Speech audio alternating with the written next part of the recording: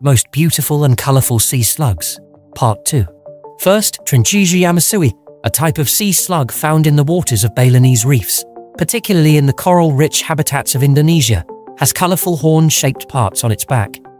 These parts are red, blue, orange, yellow, white and black. They have stinging cells inside, which help protect the sea slug from enemies. Second, white-black striped nudibranch sea slug. These sea slugs have small black spots or lines along the longitudinal ridges on the mantle. The mantle, foot and oral veil are lined with orange, and the white oral veil and foot have scattered black spots and patches. This species occurs in the Indo-Pacific region. Third, purple-tipped Janolus.